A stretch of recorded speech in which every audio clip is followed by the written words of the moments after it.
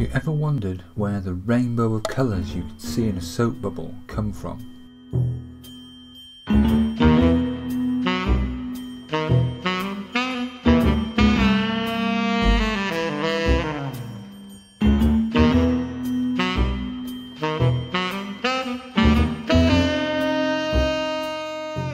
Here we can see a ripple tank making plane water waves, that's flat water waves, moving towards a barrier with a small gap in it.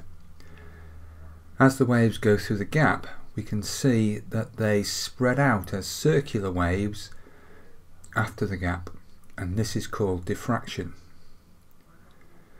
This process also happens with light. So if I shine a laser at a narrow gap we can see that the beam spreads out instead of being a, a small dot and the pattern produced depends upon the width of the slit that the light is shining through. If you were looking down on top of some water waves and drew a line along each wave crest, we could call those wave fronts and they would be travelling in this direction like this.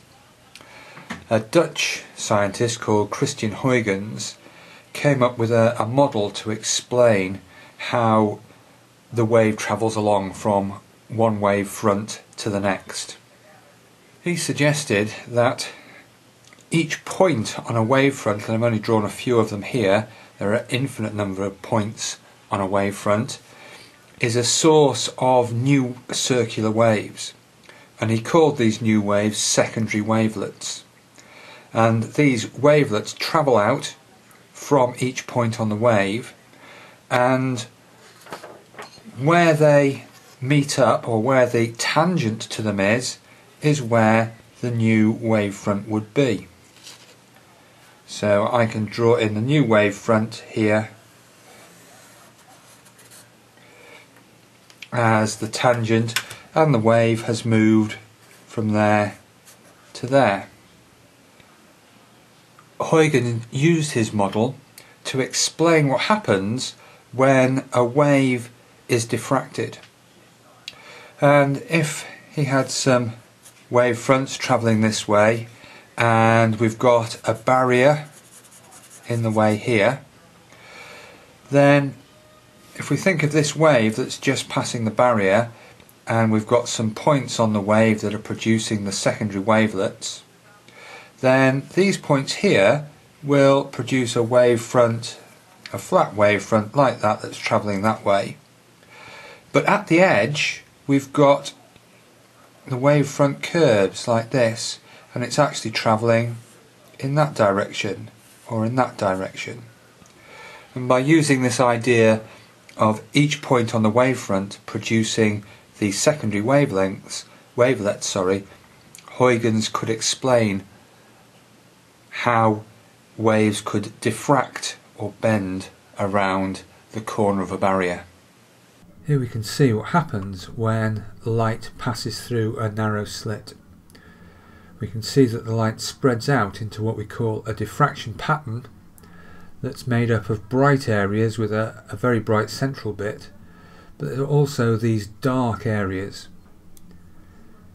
If we plot a graph of intensity against angle from the slit we can see clearly how the intensity of the light changes from high intensity in the center moving down to zero then up to a maximum again then zero and a maximum again.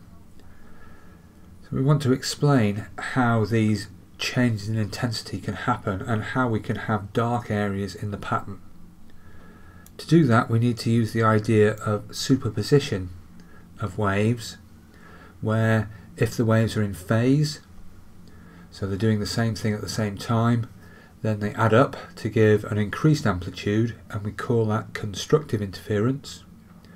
If they are 180 degrees out of phase so they're doing the opposite things to each other. They cancel out to give zero amplitude and we call this destructive interference. Here we have a wave passing through the, a small gap in a barrier and using Huygens principle take every point on the wavefront as a source of these new secondary wavelets what I'm going to do is I'm going to pair the points up so this point at the end is paired up with a point in the middle and every point in this half of the wavefront is paired with a point in this half of the wavefront. I'm going to think about the wave they produce that's going in this direction which is to a minimum of intensity or destructive interference. Okay, and this is the angle at which that happens. Call that theta. Now, the reason why this is destructive interference is because these two waves are 180 degrees out of phase. And the reason for that is that the, the top one, this one here, has travelled further than this one. If I just draw a construction line in here, where that's at 90 degrees there, then this distance here is the extra distance that this one has travelled. So for these two to be 180 degrees out of phase, then this distance here must be a half of the wavelength.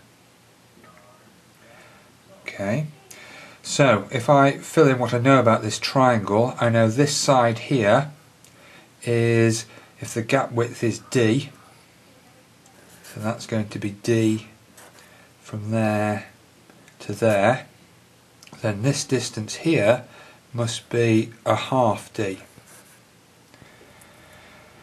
And this angle here must be theta.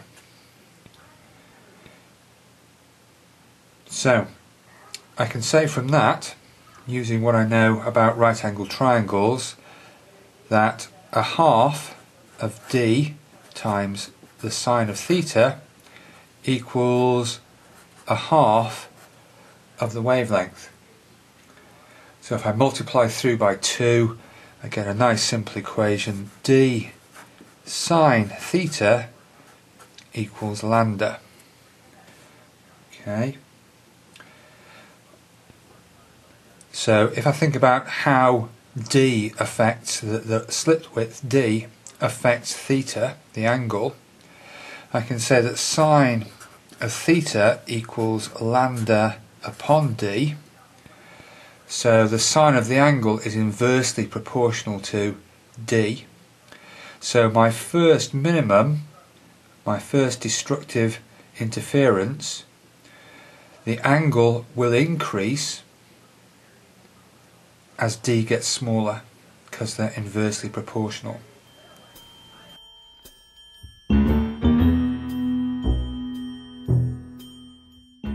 Here the ripple tank is set up with two narrow gaps for the waves to pass through and they diffract as they go through each gap and overlap and produce areas of constructive and destructive interference.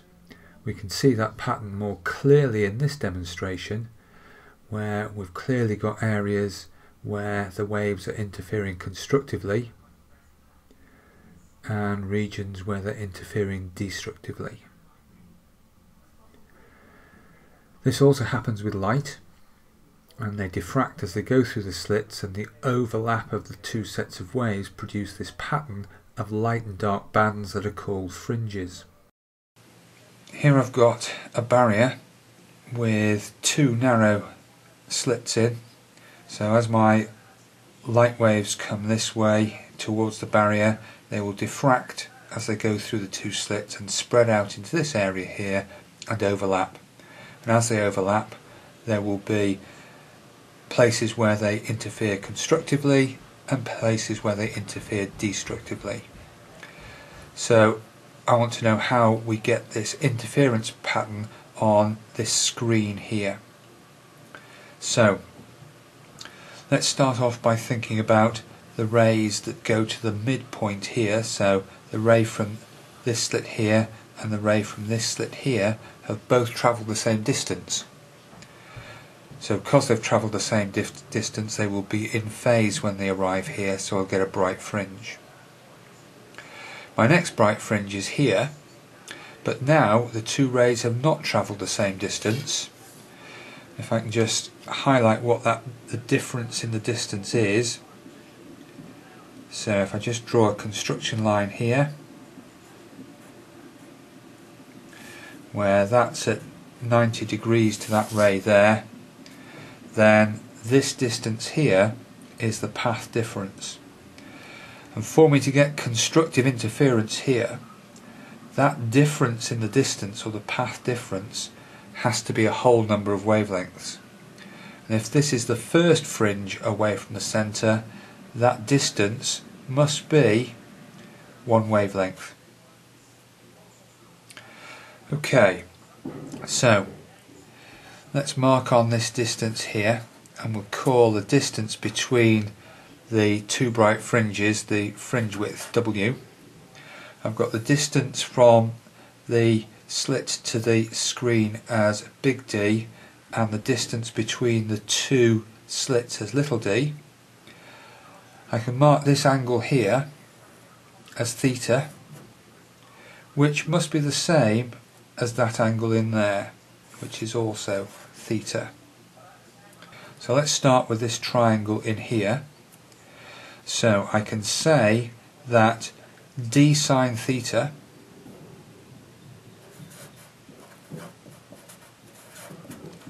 equals lambda for my first bright fringe there and looking at this triangle here I can say that tan theta equals W over D. Now the mathematicians amongst you will know something about uh, angles when they're small because the angles on this diagram are very exaggerated. For small angles, angles so let's take a small angle alpha. I can say alpha equals sine alpha equals tan alpha. So, since these angles are small, I can say that sine theta equals W over D.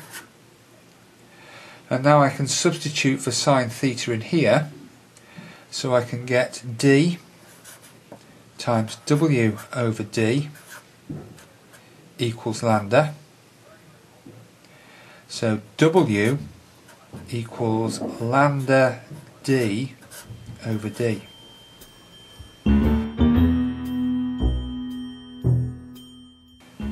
diffraction grating has lots of slits or gaps in it. So marked on here I've got all these rays travelling the same direction and these are going towards a, an area of constructive interference and this is going to happen at an angle theta. So if this is the first bright region, the first constructive interference, then this path difference here must be lambda, one wavelength. So it's going to be constructive interference.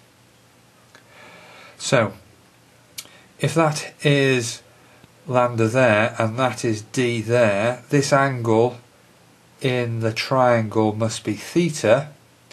So my first maximum or region of constructive interference must be at d sine theta equals lambda.